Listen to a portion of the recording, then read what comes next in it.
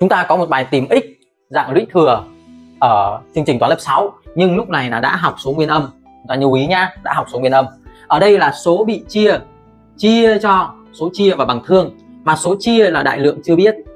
Vậy số chia sẽ bằng số bị chia chia cho thương, và 2x cộng 1 mũ 4 bằng 1 chúng ta đặt một câu hỏi trong đầu đó là bao nhiêu mũ 4 mà ra 1 bao nhiêu mũ 4 mà ra 1 chúng ta nhớ ngay đó là gì? Một mũ 4 thì bằng 1 nhưng có một trường hợp đặc biệt, đó là trừ một mũ 4 lại cũng bằng một đấy. Bởi vì sao? Bởi vì trừ một mũ 4 chính là bốn con số trừ một nhân với nhau. Bốn con số trừ một nhân với nhau. Mà âm nhân âm thì ra dương, và chỗ này vẫn ra dương một. Vậy chúng ta sẽ có hai trường hợp, đó là gì?